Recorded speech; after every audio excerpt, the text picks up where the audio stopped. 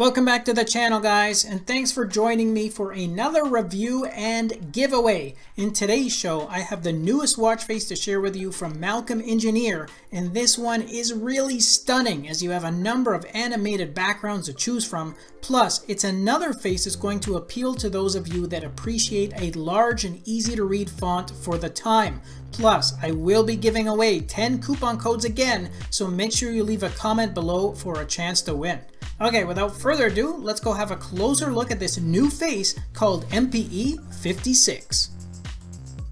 Okay guys, Malcolm has been on a tear lately with providing us with some really bold and easy to read watch faces, and this is another one that checks both of those boxes, plus you can also throw in some nice animations here. And if you want to cycle through all those different animated themes, and there's actually 8 in total, then you just need a quick double tap over top of the minute digit there. Now in addition to these themes, you also have some other theme variations for those interactive bars on the left and the right hand sides just along the bezel.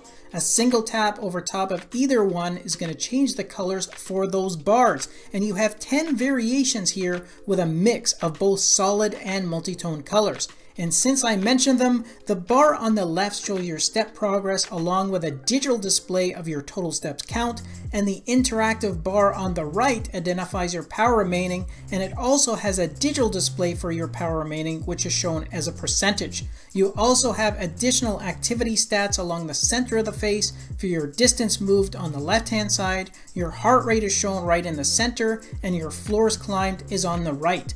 And finally, this comes preset with 10 fixed app shortcuts, as well as two more which are customizable.